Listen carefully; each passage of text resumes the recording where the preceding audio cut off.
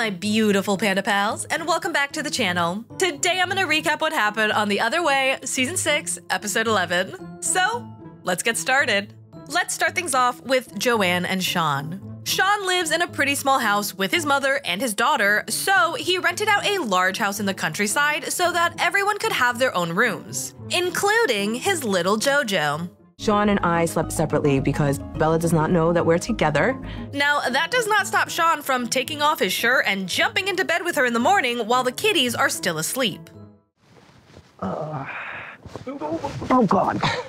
Pass the hip, please. Oh, my goodness. I do not have a fully formed opinion on Sean yet because we haven't seen a lot of him, but the man's body is very yummy. And yeah, I would absolutely ask to hips that man multiple times a day. Sean cooks everyone a traditional Irish breakfast, and then him and her boys go off so that they can do some bonding. Come on, Jesse. Nice. What a shot. Come on, big bro. Oh. Let's go. Her eldest son Joey is like, Bro, it is so nice to finally meet you, especially considering you've been dating my mother for the past three years. We had planned to get you over a few times and then it just didn't shape out. I'm happy you're here now. I mean, you seem pretty genuine. Joey tells him his mother deserves the absolute best, and Sean agrees with him, and he tells him he really wants to be a part of their lives. I'm starting to get a lot more anxious. I feel like I'm lying to them. I, I want to just get it out and tell them that I married your mom. Yeah, so not telling anyone that y'all have been dating for the past three years was definitely the wrong choice. Because here you are trying to get to know them, build a relationship with them, and essentially get them to trust you, but you're building that relationship off of a lie.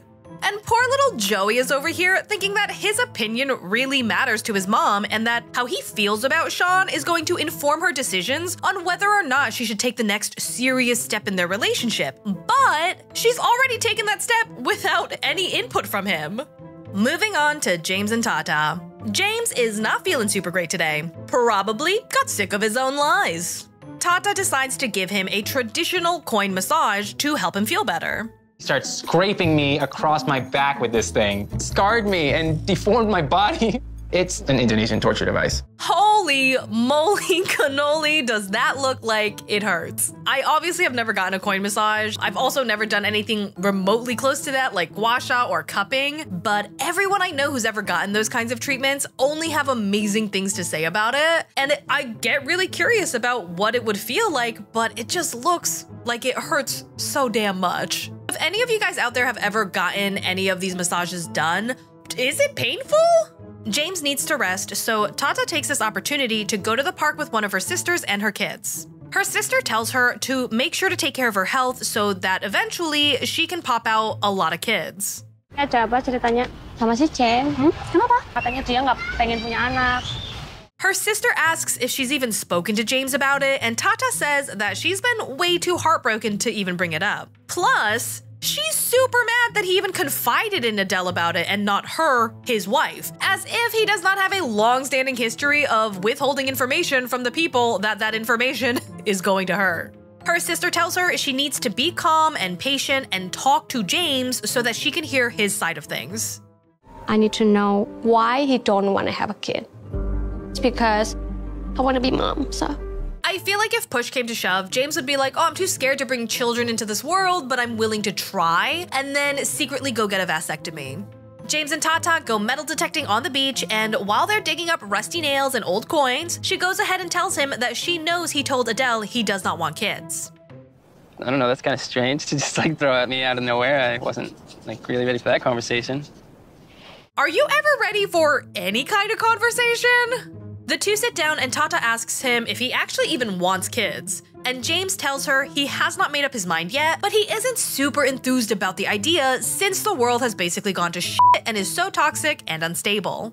Maybe it's selfish of me to just be thinking that way because I know it's something that you really, you know, you really, really want to be a mother. I do. I mean, it is a little selfish considering your wife has been super vocal about wanting to be a mother, and you have been super enthusiastically pretending that you want kids so that she doesn't leave you. You can't just stop being a parent. Like, that's the rest of your life. It changes everything. I can't give them a great life. I don't even know if I can take care of us here. The whole world being toxic thing was definitely an excuse, and this is the actual reason he does not want to have kids. Children are a lot of work, and he doesn't think that he can fully provide for them in the way that they are going to need him to. And that is a valid concern. I am so happy that he was able to get to the truth and tell that truth to his wife. You're supposed to have a kid to make your relationship strong. Maybe if we have a kid, it will make our relationship strong. I'm sorry, what? No! Kids are not band aids. If your marriage is in trouble, the answer is not to have kids to try and save it. James asks if she would stay with him if he ended up never wanting kids. Tata tells him that she's so hurt because before they got married, he kept encouraging this idea of him wanting children, saying things like he could not wait to have little mini me's running around the house. I mean, I wish I could give you a solid answer one way or the other, but I think right now what we need to be focusing on is get ourselves settled here. I am so glad that one of them is finally making sense in this relationship. Whether James actually wants kids or not, I think he is correct in saying that they really need to focus on the two of them trying to build a life in Indonesia first. Meitalia tells us that she does feel better after talking to James because she feels like he finally started telling her the truth, but she absolutely hates that she did not get any kind of answer because she doesn't want to wait in limbo forever. If he doesn't want to have kid, I will still love him. But I don't want to wait and hope forever. Let's touch base with Statler and Dempsey. Statler is feeling pretty guilty right now because she made her boo thing cry. I mean to make you cry. I'm finding it really hard to process. It just hurts me that I'm not trusted. She explains that every single person she's ever trusted in the past has let her down. So while she does actually trust Dempsey, she cannot help but hold her breath and wait for the other shoe to drop. I'm just always waiting for someone to let me down in some way. My insecurities are higher with the stakes being higher. Dempsey says she does understand where Statler is coming from, but that does not mean that her feelings are hurting any less. I'm just brutally honest. I hope you can appreciate that. she does not. She does not appreciate it at all. The two kiss and make up just in time for Dempsey to take Statler on a mini detour to surprise her with something special. They're going beekeeping. Really? Yeah. No. really? Yeah. You excited? Yes, I'm excited. At first, I was like, ew, who wants to go beekeeping? The answer is Statler. Statler wants to go beekeeping. Statler loves bees. I'm so excited. This is like a life dream of mine. Really? Yes. She starts to feel like maybe she's been a little bit too harsh on Dempsey because this excursion is making her feel like Dempsey does actually care about her. The pair buzz with excitement as their guide takes them under his wings to share some fun facts about these little insects. Statler's eyes have never lit up brighter, and she looks over at her sweet little honey all ready to cross pollinate. Best day ever. It was unbelievable. All right, I am done with the puns. It's a new day, and the girls are getting ready to cross the border into France. Statler is feeling a lot better about her relationship with Dempsey after her romantic beekeeping surprise yesterday, but she is definitely not excited about having to be on a boat for an hour and a half. I've only been on a boat once before, and I spent the entire time sitting on a bucket. Myself. Statler hates boats just as much as she loves bees. Dempsey's super excited and cannot stop saying that they are on a boat. And Statler looks at her and she's like, Bitch, can you take it down like a 700 notches, please? Feel a bit safe. Yeah, I just I just don't want to talk right now. Okay.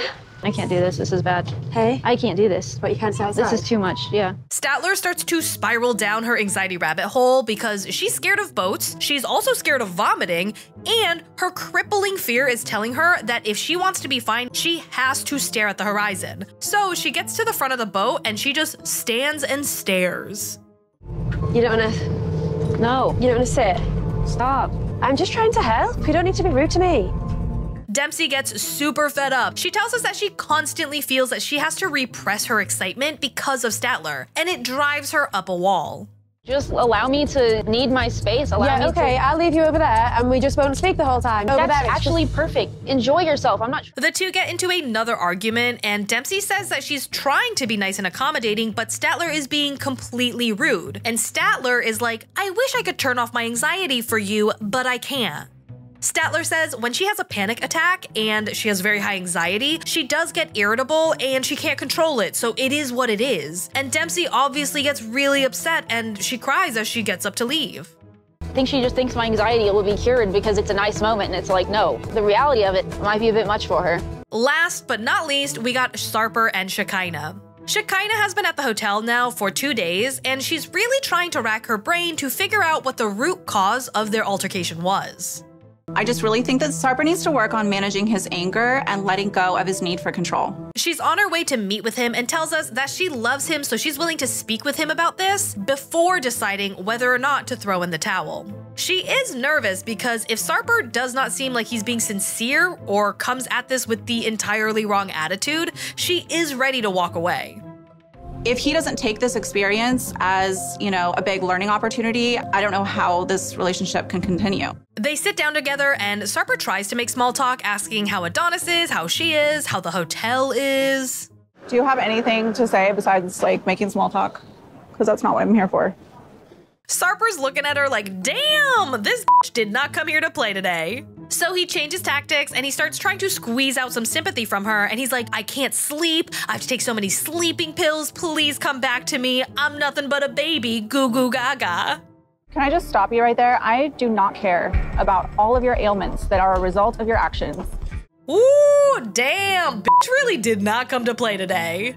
Sarper starts to pout, and he's like, Why don't you look like you feel sorry for me, baby? And Shekinah's like, Bitch, it's cause I don't.